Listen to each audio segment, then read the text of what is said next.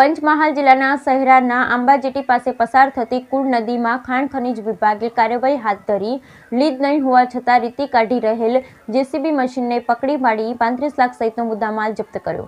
કુળ નદીમાં થઈ રહેલ ખનીજ ચોરી અટકાવવા કડક કાર્યવાહી કરવામાં આવે તેવી લોકમાંગ ઉઠવા પામી. શહેરા ઉમરપુર ખોડા ગામ પાસે પસાર થતી કુંડ નદીમાં મોટા પાયે રેતી ખનનને લઈ જિલ્લાના ખાણ ખનિજ વિભાગની ટીમ કુંડ નદી ખાતે તપાસ હાથ જ્યારે આંબાજેટીથી થોડે દૂર કુંડ નદીના પટમાં લીજ નહીં હોવા છતાં રેતી કાઢી રહેલ જેસીબી મશીનને ખાણ ખનિજ વિભાગની ટીમે પકડી પાડી ગોધરા જિલ્લા કલેક્ટર કચેરી ખાતે લઈ જવામાં આવેલ હતું. ખાણ ખનિજ વિભાગે આશરે રૂપિયા પાંત્રીસ લાખનો મુદ્દામાલ જપ્ત કરી કાયદેસરની કાર્યવાહી હાથ ધરી હતી.